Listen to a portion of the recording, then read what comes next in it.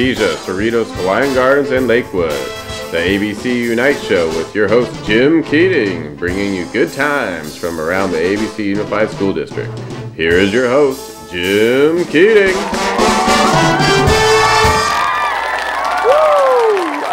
Final episode of the season. Five years. What do you think? I feel five years older, that's for sure. You don't look any different. You look spectacular. Thanks. I uh, loofah every night. Cucumbers on the eyes, the whole thing. Oh, I thought it was the makeup department here on the Unite show. Oh, sorry. Trade secrets. Trade, big time trade secrets. I have my own trailer and everything.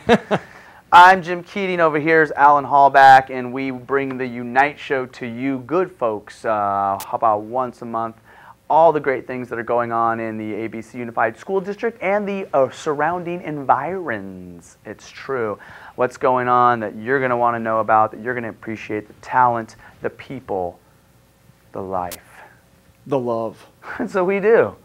It works. There's a, there's a lot of good stuff out there. Shoot, and we bring it here. This, this show's a pretty musical show for us, wouldn't you say? Yeah, this one's got some doozies in it, and a lot of variety too, because we have I think two different soloists. Two soloists, Okay. uh, and so you're going to look forward to seeing a couple students uh, bringing their solo talents uh, to the stage here, and The youth rock band. that's right? right. Jet Propulsion is Jet their name? Propulsion, yep. Yeah. And uh, they're going to be here. They're uh, part of a, a program running out of a music store that uh, people in this area can get involved in. As far as our regular sit-down guests, we have uh, Fedde Middle School's here to talk about the uh, H1N1. You might know it as a swine flu. Hope you didn't catch it.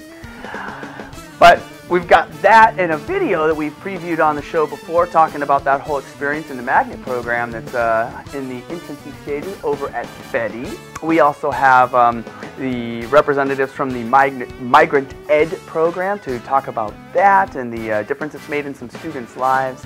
Tim Catlin from uh, Child Welfare and Attendance.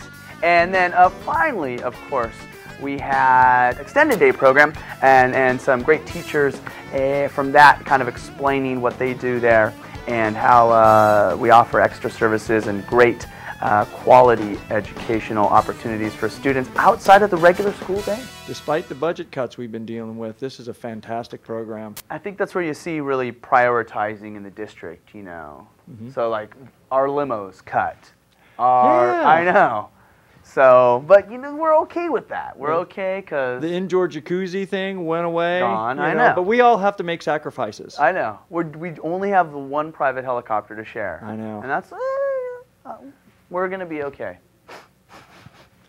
So, as you can see, we have about 14 hours of show ahead of us. So, I hope you've called in sick because, It's like man. A, it's like the old uh, what are the telethon It's thing they used to do yes, with Jerry Lewis. Chabad or whatever, telethon. Are you We'll going to be- sing what the world needs now is love, sweet love? Yes, yes, I think we'll do that. Okay. And I'll uh, spin around. No extra charge.